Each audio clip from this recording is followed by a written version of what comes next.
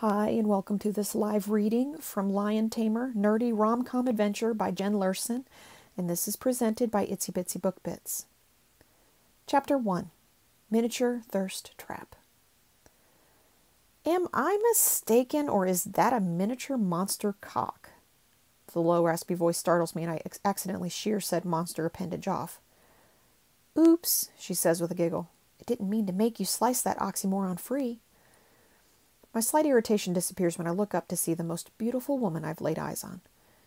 Her blue green eyes are smiling, fiery red hair framing her face. Hi, she says, waving a hand in front of my face, and I realize I'm just staring like a creeper holding a tiny severed dick in my hand. Uh, hi, I say because I'm cool under pressure. I thought I'd found a secluded little spot in the hotel bar here in Mexico City, but I guess not. This is for my job, what the fuck am I saying? Her eyes widen in surprise. Wow, what a job. She gestures to the empty seat across from me, and I must nod because she sits and leans over the vast array of miniatures I'm working on. When working with miniatures, the most important rule is time equals detail, meaning you can't rush something so small if you want it to have a big impact. I've been working in miniature building for years, and it helps me with focus and dexterity immensely two things that are vital for a veterinarian when performing surgery on a small frog. They may also help when I'm in certain sexy situations. This woman is very thorough in her examination, but is respectful enough to not pick up any of them up. The detail is striking, and they look like they're actually fucking. What kind of job requires you to make these? She points to a couple in the perch pose. I place my tools down and take my magnifying glasses off. I set the polymer mini man and his giant penis down on the wax paper that holds the completed figures I've done since sitting here. Currently, I'm on a 12 hour layover from San Francisco to Guatemala, so I've been drinking cranberry juice and sculpting. While not sentient beings, they are, in a sense, fucking. I could just have them connected where they should be, but I like the look of when I make a penis and a vagina opening or mouth and the penetration is legit. She's staring at me, mouth wide open. I guess that was way too much. I have so many questions, but first, what are you drinking? she asked, pointing to my glass of juice. After I tell her my order, she gets us each a new drink from the bar and sits. During this time, I've reattached the previously severed appendage and am, recon- am connecting the figures when she reappears. What position would you call that?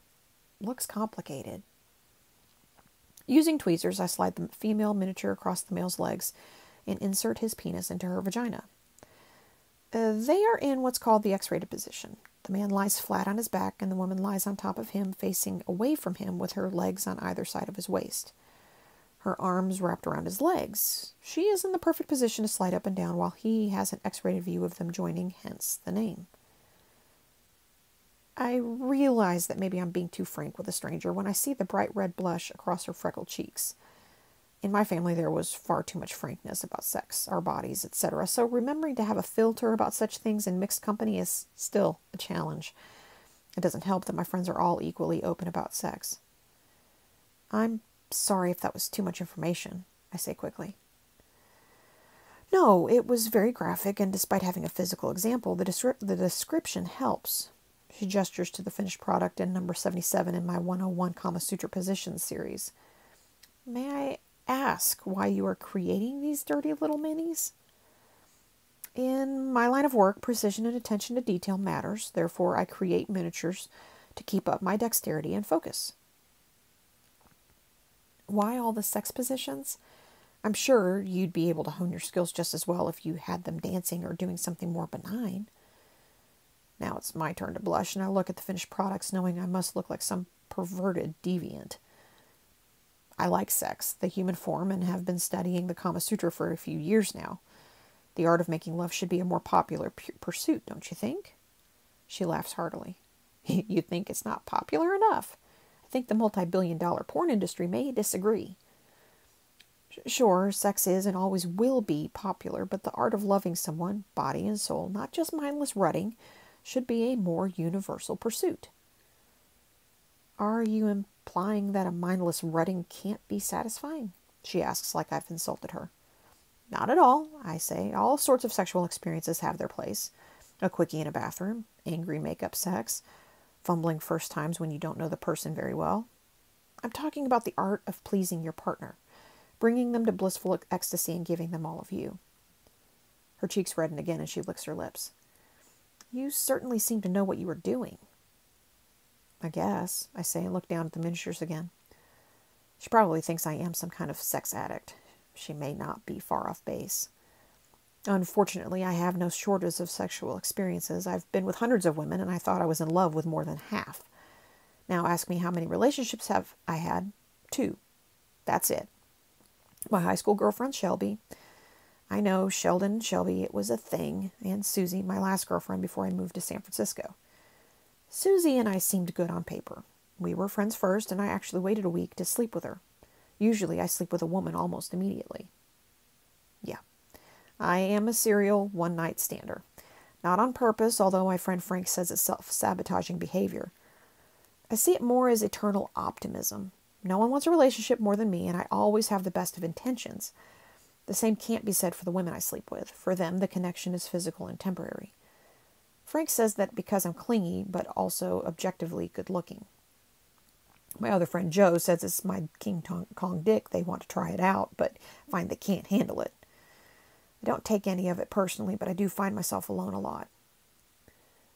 What is this position called? she asks, pointing to a pair where the woman is on her back, her legs folded under her. The man slides in beneath her, extending his legs on either side of her head, connected on his lap. It's the triumph arch. The man is able to see their connection and attend to her breasts while achieving a deep angle and control of her hips to deep his thrust. I explain, pointing to where he holds her hips.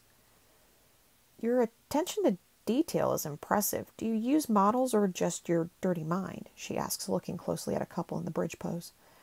This reminds me of that movie, Forgetting Sarah Marshall. Ah, yes, probably the only time it's been attempted. I joke, but it's a really hard pose. She laughs with me, and I notice she's blushing again.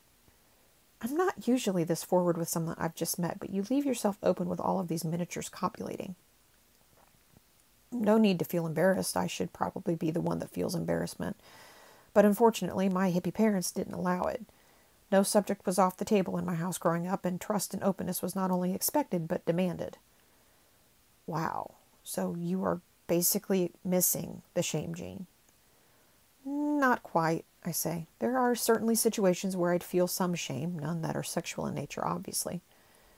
So, if you were caught doing the bridge pose with some limber lady by your fellow miniature makers, you'd be cool with it. I've only attempted it once, and it was in a locked yoga studio, I say, tapping my finger to my lips. I think that I'd feel pride that I could hold the pose as long as I did without collapsing and hope that my fellow yogis would be impressed. Kudos to your sexual prowess. You were okay with public sex then? Ah, uh, I wouldn't say I'm okay with it in that it turns me on, but I wouldn't feel shame about someone seeing me finding pleasure with a woman. The thrill of being caught isn't one of my kinks because I'm not afraid of it, I guess. I shrug and think about the last time I did get caught and how uneventful it was It was a penetrating woman against the wall of our outdoor shower when Frank opened the door, saw us, shrugged, and grabbed his wetsuit that had been hanging on a hook next to the lovely woman's head. I never saw her again. You are a fascinating person, she says, draining her drink and standing. Thanks, I think, I respond, standing with her. I wish I could say the same about you, but since you've told me almost nothing about yourself, I'll label you a mysterious person. Her smile is wide and only accentuates her beauty. I lean in and kiss her lightly on the lips. I thoroughly enjoyed meeting you, mystery woman. Normally, this is when I'd invite her to my room, but I have to get up at an ungodly hour and I can't miss my flight. She seems like the type of woman that would make me miss my flight. She pauses, perhaps expecting me to make an offer, but then taps the table and walks out. I take my phone out and text Susie. Me, I just spent an hour chatting with a beautiful woman and I didn't ask her to my room. Susie.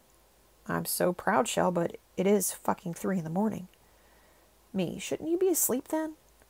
Susie. You'd think, but my ex is doing whatever the opposite of sexting is, and here I am. Me. I'm not good at sexting. Susie. You are not. Fortunately for you, you are good at the real sex. Me. Sorry I woke you up. Susie. You're nervous for your trip, I understand. I don't get nervous normally, but she isn't totally wrong. I'm excited for this adventure I'm about to go on and feel some anticipation about what's to come. Me. Not nervous. Susie. Let me guess. You're making miniature porn at the hotel bar drinking cranberry juice like some weirdo. Me. Looks around the room for cameras. Susie. It's okay to be nervous about the important trip you're about to embark on. I can't wait to hear about it. You better post updates and pictures. Me. I will. I'm aware that it's a once in a lifetime opportunity. Susie. Okay, go to bed. Leave me alone. I'm proud of you for not sleeping with the random woman. Me. She wasn't random. I'm proud too. My dick feels less happy about it. Susie. TMI, bro. Text me when you get to your destination. Me. I will. Thanks, Suze. I put my phone away, carefully put my work in the small toolbox I carry everywhere, and head to my room. I fall asleep imagining my new fiery haired friend in some of my favorite poses.